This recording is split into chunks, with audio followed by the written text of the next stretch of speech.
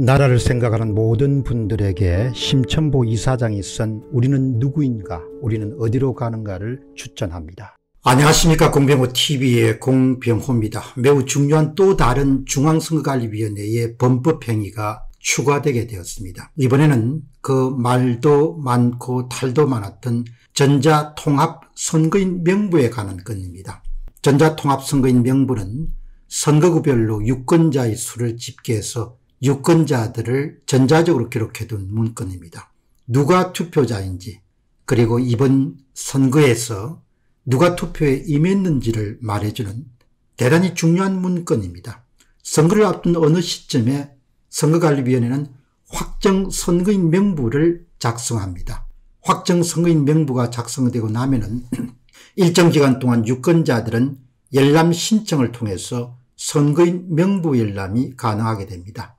과거에는 선거인 명부는 각 지역 선거관리위원회에서 문서 형태로 보관되어 있었습니다.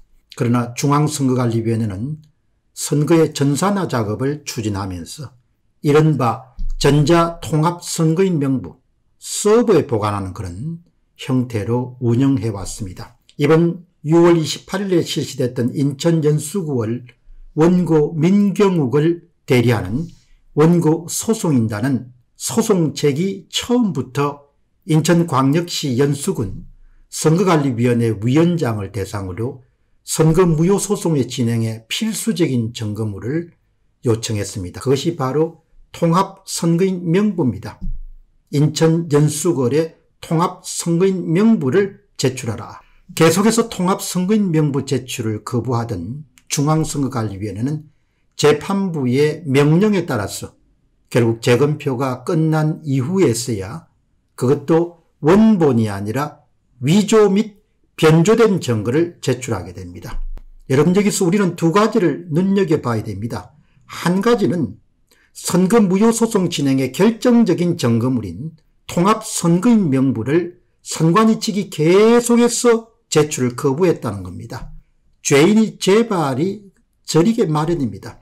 또 다른 하나는 원본을 재판부에 제출하는 것이 아니고 위조 및 변조된 점검을 제출한 것입니다. 세상에 어떤 단체나 어떤 사람이 재판부에 점검을 제출할 때 위변조본을 제출할 수 있습니까? 이런 정도의 아주 이해할 수 없는 그런 행위를 4월 15일 선거가 실시 이전부터 시작해서 지금까지 계속해서 선거관리위원회가 이런 이상한 행동을 보이고 있는 겁니다. 2021년 7월 8일 대법원 특별 2부 재판부의 명령에 따라서 중앙선거관리위원회가 재판부에 마저 못해서 제출한 통합선거인 명부 위 변조본 제출에 관해서 중앙선거관리위원회에 작성된 문서 제출서라는 공문서에는 다음과 같이 기록되어 있습니다. 위 사건에 관하여 중앙선거관리위원회는 재판부의 2021년도 7월 8일자 문서 제출 명령에 따라 첨부서류 목록의 문서를 제출합니다. 여기까지가 전부면 좋았을 텐데 바로 다음 사항을 여러분 특별하게 주목해 보시기 바랍니다. 다만 투표자 특정의 소지를 최대한 줄이기 위해서 등재 번호를 무작위로 디스큰 형태로 제출함을 알려드립니다. 첨부 서류는 통합선거인 명부 인천연수구월 파일이 탑재된 USB 한부입니다. 결국 2020년도 4월 말 인천연수구월 점거보전 마감일에 마땅히 제출해야 될 핵심 점거 물품인 통합선거인 명부는 2021년도 6월 28일 재검표 재판이 열릴 당시에도 제출되지 않았습니다. 원고 측의 거듭된 요청에 따라서 결국 대법원 특별 2부 재판부는 7월 8일 날 중앙선거관리위원회 측에 문서 제출 명령을 내리게 됩니다. 이에 따라서 7월 28일에 중앙선거관리위원회가 통합선거인 명부 인천연수거를 제출하게 됩니다. 원래 통합선거인 명부는 선거가 끝나고 나면 각 지역 선거관리위원회에 봉인, 봉함되어서 보관되어 있어야 될 문건입니다. 그것도 원본이 아니라 무작위로 디스큰 형태의 위조 및 변조본을 재판부에 제출한 겁니다. 결국 선거 무결성을 검증하는 재검표의 3대 핵심 증거는 모두 위조, 변조, 인멸된 셈입니다. 첫 번째, 4월 15일에 생성된 투표지 이미지 파일 원본은 이미 자신들이 삭제했다고 중앙선거관리위원회 측이 6월 28일 날 재검표 재판 과정에서 자백한 바가 있습니다. 두 번째는 중앙선거관리위원회는 대부분이 문서 제출 명령에 따라서 통합선거인 명부에 손을 댄 이후에 그러니까 위조 및 변조한 형태로 재판부에 제출했습니다. 2021년도 7월 28일입니다. 세 번째는 6월 28일 재검표 현장에서 생성된 투표지 이미지 파일에 대해서도 관련 정부의 정부를 복사한 원본을 제출하는 것이 아니고 여러 가지 정보 가운데서도 투표지 이미지 정보만을 뽑아서 투표지 이미지 정보와 관련된 속성을 표현한 다양한 부분은 다 빼고 투표지 이미지 정보만을 뽑아서 복사해서 제출합니다.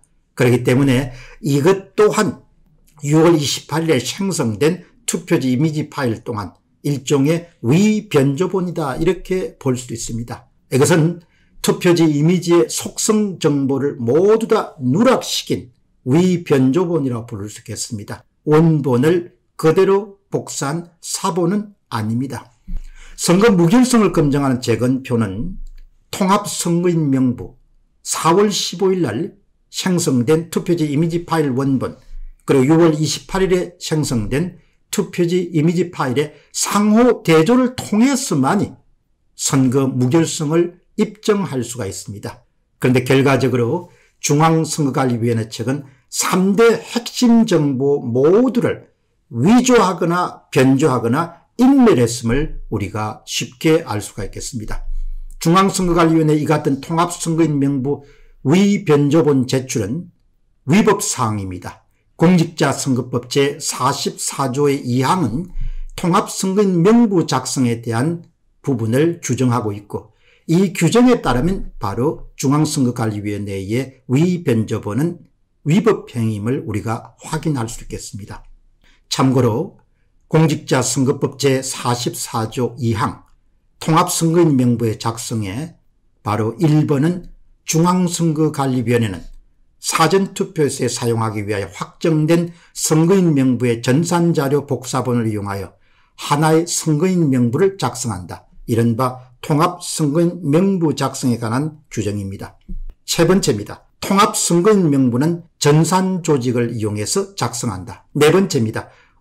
읍면동선거관리위원회는 선거일에 투표소에 사용하기 위해서 제148조 1항에 따른 사전투표 기간 종료 이후에 중앙선거관리위원회가 제2항에 따라서 기술적 조치를 한 통합선거인 명부를 출력한 다음에 해당 읍, 면, 동 선거관리위원회 위원장이 이것을 봉함, 봉인해서 보관해야 된다. 여러분 그러니까 사전투표가 끝나고 나면 일정 기간이 지난 이후에 일정한 기술적 조치를 취한 이후에 전자통합선거인 명부는 각 지역선거관리위원회에서 문서 형태로 출력되어서 봉함 봉인되어야 된다는 거죠.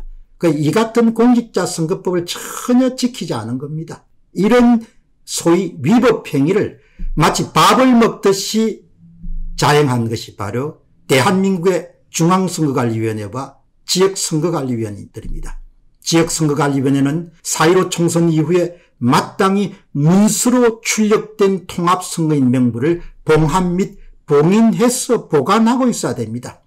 지역선거관리위원회가 보관하고 있지 않았기 때문에 중앙선거관리위원회는 손을 댄 이후에 선거가 끝난 한참 1년 470일이 더 이상 지난 바로 2021년도 7월 28일 날 그것도 재판부의 문서 제출 명령에 따라서 위조 및 변조된 통합선거인 명부를 제출하게 된 겁니다. 중앙선거관리위원회 이 같은 행동은 행법 제155조 1항의 정거의 위조 또는 변조에 해당합니다. 위법사항입니다. 그리고 헌법 제225조의 공문서 위조죄에 해당됩니다. 이 조항은 살펴보면 행법 제225조 공문서 등의 위조 변조는 공무원 또는 공무소의 문서 또는 도화를 위조 또는 변조한 따른 10년 이하의 징역에 처한다. 이 모든 것이 위법사항입니다. 그리고 형법 제227조의 2 공전자 기록 위작 변작에 따르면 이것도 명백한 위법입니다. 사무처리를 그르치게 할 목적으로 공무원 또는 공무소에 전자기록 등 특수매체 기록을 위작 또는 변작한 자는 10년 이하의 징역에 처한다. 그러니까 이번 이 소위 통합선거인 명부의 위변조본에 참여한 모든 지위 선상에 있는 사람들은 바로 법적인 단죄를 피할 수 없을 것이다. 저는 그것을 아주 단정적으로 여러분들에게 말씀드리고 싶습니다. 선거의 공정한 관리 책무를 맡은 중앙선거관리위원회가 행법과 공직자 선거법을 마치 밥 먹듯이 위반하고 사법부에 제출한 것이 위변조본을 제출한 것이 말이 됩니까? 공직자 선거법 제44조 2항 통합선거인 명부의 작성은 이렇게 규정하고 있습니다. 선거가 끝난 이후에 문서 형태의 통합선거인 명부는 지역선거관리위원장의 봉함 및 봉인되어 보관하여야 한다.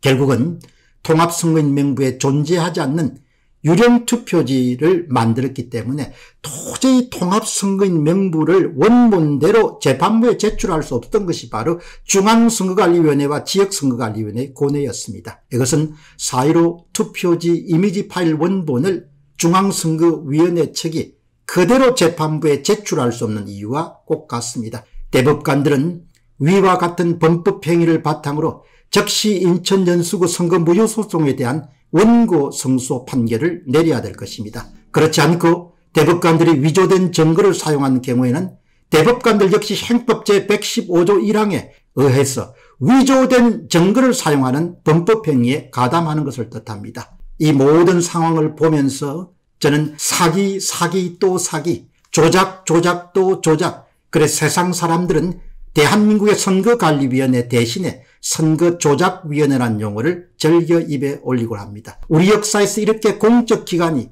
선거를 대대적으로 조작하기 위해서 주도한 경우는 1960년 3.15 부정선거 이후에는 한 번도 없었습니다.